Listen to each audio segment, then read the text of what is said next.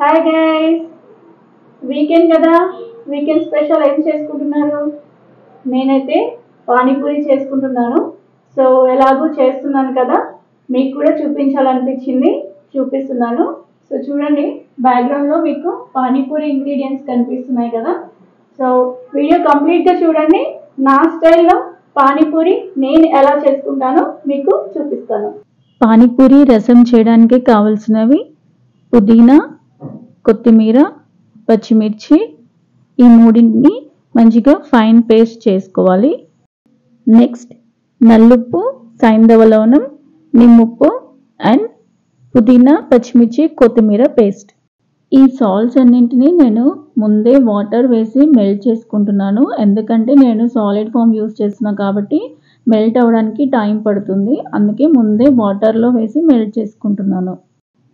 Panipuri masala preparation కోసం soaked బఠానీ నేను బఠానీ ఆల్రెడీ సోక్ చేసి పెట్టుకున్నాను అండ్ పొటాటోస్. ఇప్పుడు రసం ప్రిపేర్ చేస్తున్నాను. సో నేను ఫోర్ మెంబర్స్కి చేస్తున్నాను. దీంట్లో ఆల్రెడీ పేస్ట్ చేసుకున్న పచ్చిమిర్చి పుదీనా కొత్తిమీర పేస్ట్ టూ స్పూన్స్ మిక్స్ చేస్తున్నాను. నెక్స్ట్ ఆల్రెడీ మెల్ట్ చేసుకున్న సాల్స్ అన్నింటినీ సరిపడా క్వాంటిటీలో రసంలో మిక్స్ చేసుకోవాలి.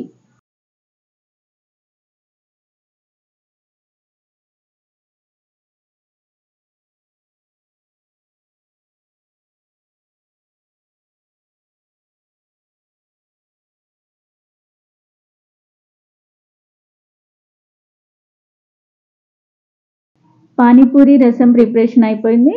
నెక్స్ట్ మసాలా ప్రిపేర్ చేసుకోవాలి. సో పానీపూరి మసాలా కోసం నేను పొటాటోస్ ఆల్రెడీ సాల్ట్ వేసి బాయిల్ చేసి పెట్టుకున్నాను. అండ్ దీంట్లో pepper and chaat masala use చేస్తున్నాను. మసాలా కోసం ఆల్రెడీ సోక్ చేసుకున్న బఠానీని మెత్తగా కుక్ చేసుకోవాలి. కుక్ చేసుకునేప్పుడే సాల్ట్ వేసి నేను కుక్ చేసుకున్నాను.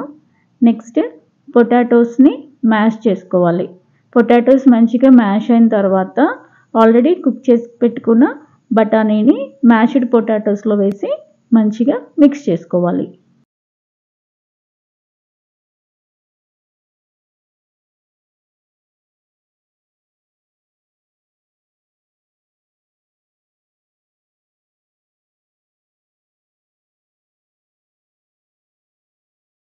అంతే.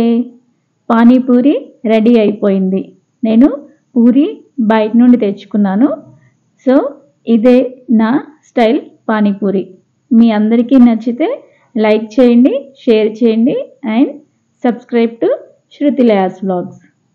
So panipuri ready అయిపోయింది కదా? నేను టేస్ట్ చేస్తున్నాను. ఎలా ఉందో చెప్తాను. సూపర్! టేస్ట్ చాలా బాగా వచ్చింది. And thank you for watching my video. Bye guys!